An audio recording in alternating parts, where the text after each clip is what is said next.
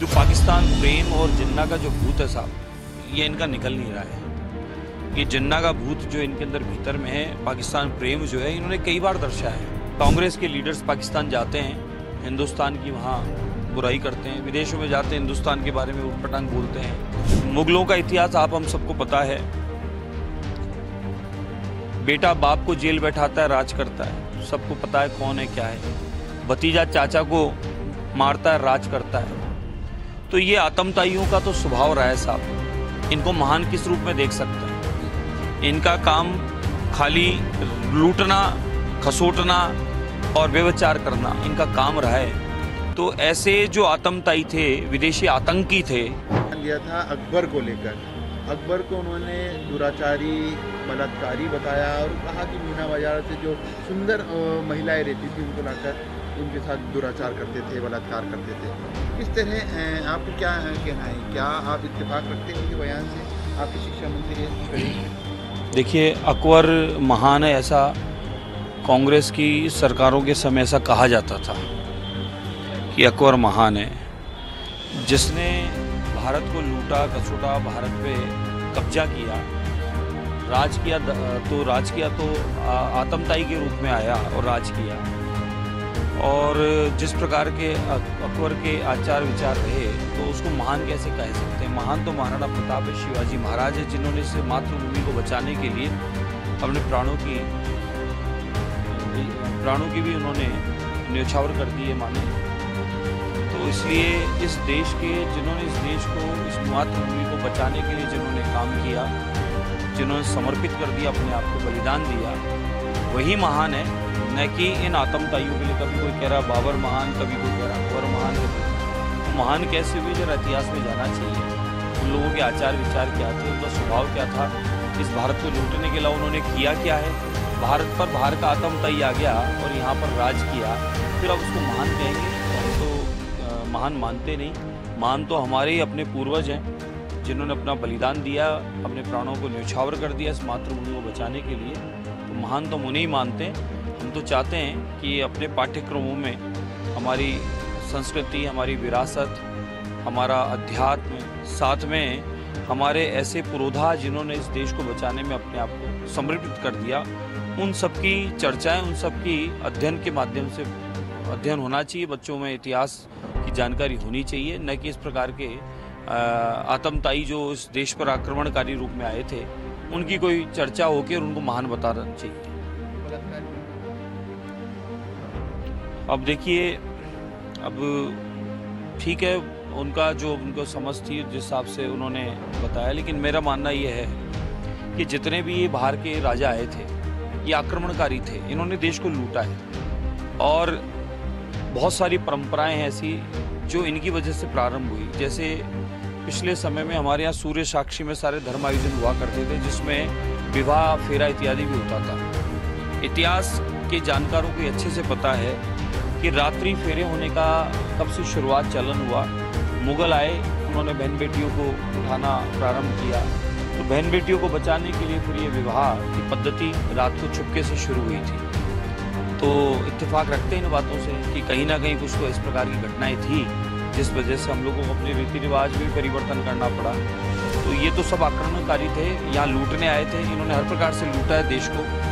तो ऐसे लोगों की तो इस देश पर चर्चा और मूर्ति और नाम होना ही नहीं चाहिए।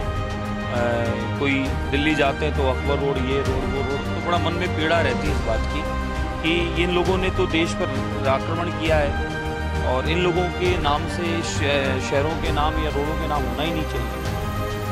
तो मैं तो निवेदन करूँगा पूरे भारतवर्ष में जितना भी शिक्षा मंत्री हैं जो शिक्षा से संबंध रखते हैं उन सबको हमारे पूर्वजों का इतिहास, जिन्होंने इस मातृभूमि को बचाने के लिए काम किया, उनकी चर्चा हमारे अध्ययनों के माध्यम से होनी चाहिए, ताकि ये हमारी नई पीढ़ी में ये स्वभाव में आए कि हमारे पूर्वज अपने मातृभूमि को बचाने के लिए सबसे जो बहुमूल्य चीज़ है, उसकी जीवन है, उस जीवन को ही समर्पित कर दी है।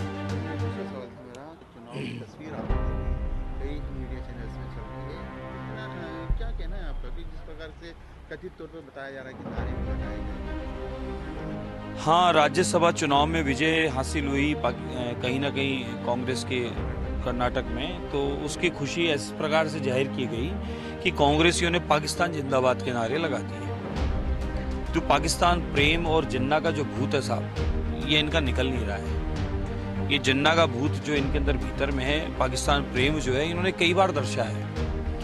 पाकिस्तान कांग्रेस के लीडर्स पाकिस्तान जाते हैं, हिंदुस्तान की वहाँ बुराई करते हैं, विदेशों में जाते हैं, हिंदुस्तान के बारे में उठपटांग बोलते हैं। और आज इन्होंने ये, पहले भी कई बार इन्होंने अपना परिचय दिया है अपने प्रेम का, इन्होंने आज और अपना परिचय दिया है इस प्रकार की शब्द बोलकर कि पाकिस्तान हमारे इनके लिए प्रिय है। तो इनके लिए प्रिय हो सकता है, हमारे लिए हमारा भारत, हमारी मातृभूमि सर्वोपरि है। और कहीं ना कहीं ये दर्शाता है इनका चाल, चरित्र और चेहरा जो इनका एजेंडा था, जिस प्रकार से कश्मीर में, के, में माहौल बना रखा था और 370 के खिलाफ थे, जिस प्रकार से राम जी के विरोधी थे, राम जी के मंदिर बनने में व्यवधान उत्पन्न करते थे, जिस प्रकार से राम सेतु की तोड़ने की बात करते थे, जिस प्रकार से सनातन को इन्होंने मलेरिया, डेंगू इत्यादि बताया, इन्होंने इनके मित्रों ने बताया, जिस प्रकार से जो पाकिस्तान से आतंकवादी आकर यहाँ घटनाएँ घटित किए हिंदुस्तान में, उनको बचाव पक्ष में उनको फांसी न लगे, उनके पक्ष में ये लोग खड़े हो गए। तो ये इनका जो प्रेम है दुश्मनों से वो पता चलता है, इनका स्वभाव पता चलता है। तो कांग्रेस मुक्त जो भारत संकल्प है, उसको पूरा करने में ये अपना योगदान स्वयं दे रहे हैं, ये अपनी आहुति स्वयं दे रहे हैं, ऐसे वाक्य बोलकर। तो इनका पाकिस्तान प्रेम सबने देख लिया, पूरी दुनिया और देश देख ही रही मुगलों का इतिहास आप, हम सबको पता है। बेटा बाप को जेल बैठाता है, राज करता है। सबको पता है कौन है, क्या है। भतीजा चाचा को मारता है, राज करता है। तो ये आतंकवादियों का तो स्वभाव रहा है साहब। इनको महान किस रूप में देख सकते हैं? इनका काम खाली लूटना, खसोटना और व्यवचार करना, इनका काम रहा है। तो ऐसे जो आतंकवादी थे, विदेशी आतंकी थे इन लोगों का अध्ययन या इनको महान बताना मैं इसके पक्ष में नहीं हूँ। ऐसे लोगों का तो नाम मार्ग भी जो लिखे हैं वो भी नहीं होना चाहिए।